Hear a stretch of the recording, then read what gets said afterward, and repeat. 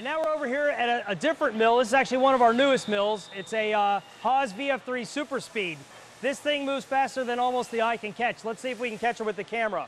What we're going to be working on today is actually uh, a piece for a grill that you're going to have an opportunity to see just in a minute for the uh, fast food industry.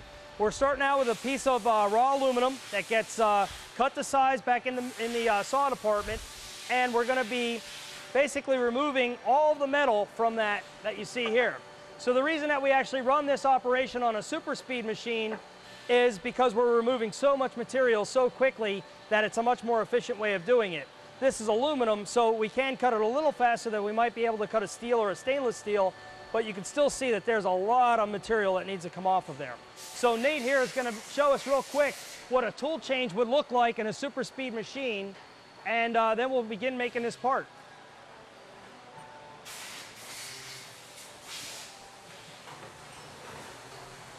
Pretty fast. So now that that's basically uh, in, this is one of our uh, roughing tools that's going to go around the perimeter of the part.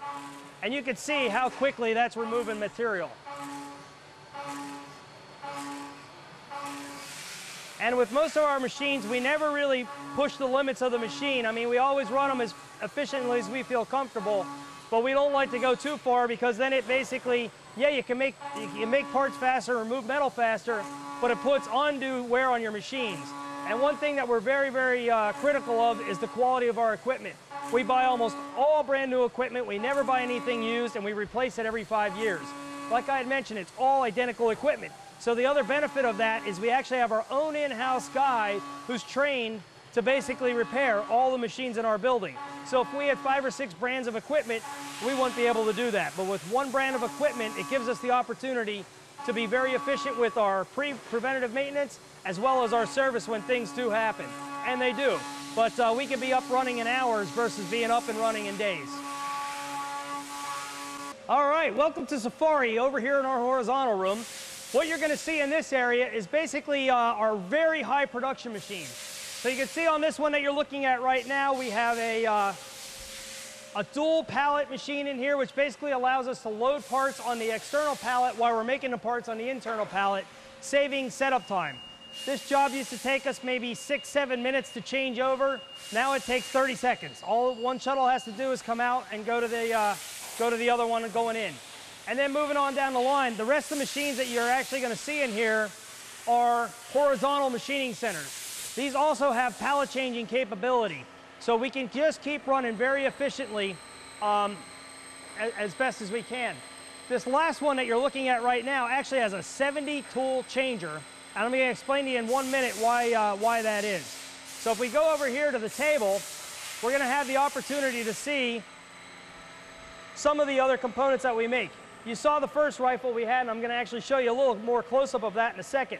These guns are actually uh, sold by Pneu-Dart the premier maker in the industry of, of projectors. So this actually has no internal charge into it. It actually is all driven by air. So this right here is where the air would go on. Now, the reason I was telling you earlier that we have a 70 tool changer, the reason that that's important is we basically used to make these components for, for this customer, and what we would do is we would make 100 of this. We'd then make 100 of this. We'd then make 100 of this, and 100 of this. And, you know, basically, the problem there was the fact that it would take us sometimes two and a half months just to be able to put together an entire set of 100 units. Well, what we've done, and the reason that the 70 tool changer is so important, is right now we turn out 16 different components off of that last machine you saw every four to four and a half hours. So basically, every four and a half hours, we're turning out a complete set of parts for a, for a rifle or a pistol. I think the rifle takes about four and a half hours. Pistol takes about four hours. But you can see on this, there's just endless internal keyways in these parts. And, and they take sometimes 45 minutes a cycle. So now we're actually able to include that into one setup. And while the guy is actually uh, running that, he now has the opportunity to run multiple machines because he has a longer setup. So moving down here to the rifle, this thing is just so cool. I mean, basically, this is, uh, this is equipped for bear. They're going to have this on a TV show coming up soon where they're actually hunting big cats. Um, there's some, some big cat that got loose up in New York, and they're going to be uh, tracking them with this. But it has a flashlight mechanism on it. It actually has a laser pointer on it that we can actually uh, do that. A lot of these rifles will be sold to different uh, deer farms and game preserves and things along those lines. Um, basically, your, your pressure is controlled right here with your uh, knob. And then in the back here, we can see what our pressure rating is. So that gives us the opportunity to be able to see what range it is. So if you're shooting a rhinoceros, you're gonna wanna have the pressure up a little higher than you might for a deer. And most of the times, these aren't used to kill animals in any way, shape, or form. It's actually used to administer medicine to an animal. Um, you know, when you have a big open range of deer, it's very difficult to get up close enough to them to actually inject the medicine. So this is what allows them to be able to do that. These are sold again all throughout the world. Australia is a very, very big um, market for these particular type of, of units. This is a one of a kind in their industry. We used to actually make components for a 22 caliber rifle that we converted into an air gun, but now Blair, the uh, Blair Swords, the owner, just an incredible visionary, had the uh, foresight to come up with his own rifle. And uh, I applaud him for that, and we're more than happy to make them. Now we're gonna actually do a little bit of a test of these too. So uh, let's see what we got. All right. All right, so uh, what we're shooting here today, basically uh, Big Bear here in Pennsylvania. And we have a successful shot. All right, and the next partner we're gonna show you, we'd shown you when we were on the mill, we were actually machining out a part for a grill. Well, this is the grill that we're machining those parts out for.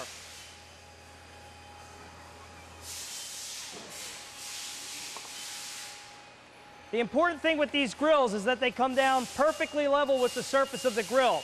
They heat from both sides, which basically allows you to make a, a burger very, very quickly. You can do eight cheeseburger patties on this in 29 seconds, and it takes 36 seconds to do a quarter pound patty.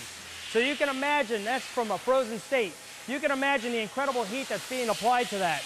We actually don't make this entire unit, but we do make many, many, many of the components that are on this. We've been a partner with this company for pretty well as long as I can imagine. We've come out with some new products, you know, helping them do design for manufacture. And, um, you know, it is the premier grill in the industry. You'll see here over to the side, you have grease trays and everything like that to make it very easy for you to get your grease off. You can pick these out, remove it, but you can see the level of quality that's put into every grill. And, uh, you know, basically achieves the highest heat out in the industry, which gives them a, a leg up on the competition. You can see some of the other unique things that we're working on with them and a, a, wide range of different products that you see here on the table. Now this one here in the case, there's a very, very interesting story with this. We just moved to this building about a year and a half ago. And the, uh, the our old building was much smaller. We're now in about 46,000 square feet. When we moved into this building, we always said if we had a bigger building, we'd be able to double. Well, last year when we moved into this building, we basically were uh, forced to eat our words or uh, actually double. So what happened is uh, throughout the year we worked to double and the very last day of the year, 10.30 in the morning, we actually doubled our business. And uh, of course I had to play a joke on the guys and tell them at the end of the day we didn't quite make it. But, uh, and I finally said, hey look, we're only one part short. And I took this part on the machinery here behind me and basically was able to uh, press that last bushing in for us to make our goal. And uh, we actually paid out $5,000 bonuses for every employee in-house. One of the goals that we have and one of the sayings we have is that we always eat out of the same bowl and only happy customers keep it full. And we're very serious about that. And the unfortunate thing about that is I'm always also the last one to eat. So uh, we want to make sure that you know our employees are 100% invested both uh, financially and intrinsically in the future of our company and the success of our customers and our partners like Garland.